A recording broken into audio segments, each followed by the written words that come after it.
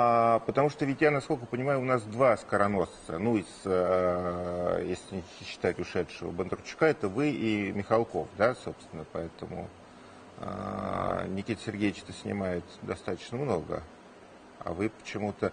Вам больше нравится играть, чем снимать? Нет, Или конечно, это- мне это- больше нравится снимать. Да? У меня было бы чаще. э, Я, во-первых, я долго очень выбираю, но и вот мне... У меня бывают какие-то, когда я работаю, останавливаюсь сам над сценарием. А вот этот был, был бы уже фильм давно, был бы и шел бы. Неполиткорректно, но без злого умысла.